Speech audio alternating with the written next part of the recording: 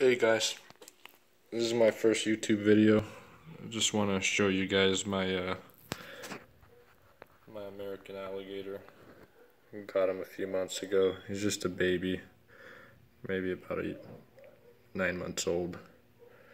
Um, we had to custom build his enclosure.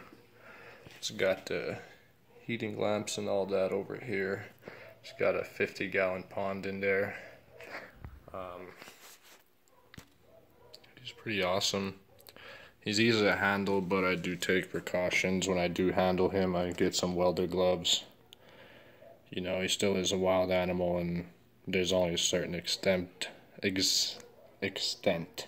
I'm sorry, of taming. You know, um, but I do plan on keeping him for the long run. You know, you can't just go and get an alligator and hope for the best, and then think if he gets too big, I'll give him to the zoo or something like that, you know.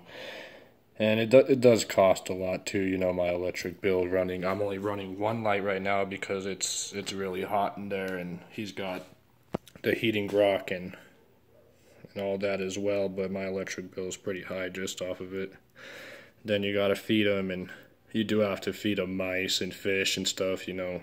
So if I know some people don't like that, but you know it's nature but his enclosure and everything, um, you can't just put him in a an aquarium like I got my monitor over there. You can't just put him, I'm, and I plan on changing him out to something like this too. But you can't just plan on uh, throwing him in something and whatever because you could go out of town for a week or something and then he he's grown two three inches. You know, not literally, but you know what I'm saying. He he'll just grow really quickly. Um, but yeah, back to the back to this. Uh, this cost us about 400 bucks to make. Not bad. The most expensive part was that fit, that grass over there. That grass cost me about 150 bucks. I got everything from Home Depot. Uh, this glass itself was about 50 bucks. Grass 150 bucks. It's about six foot long and mm, four and a half feet wide. I'm gonna say. Kind of see over here and for his lights they're uh, 1200 watt lights each. But again I only keep one because it gets too hot. If I put two the water starts steaming up and I don't want him to get burned or whatever. His rock's set to 90 degrees. I don't want to burn him or anything. Uh, sometimes I've seen him go to 130 140 and that'll just burn them up. Uh, his cage um, is about 105 degrees on this side about 80 degrees, 85 degrees on that side.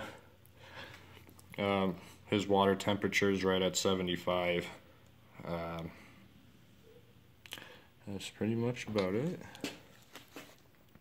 Um, if you guys have any advice or anything like that, go ahead and please let me know. I am kind of new to this. I have um, I have interest in learning more about him, and I do plan on keeping him for the long run.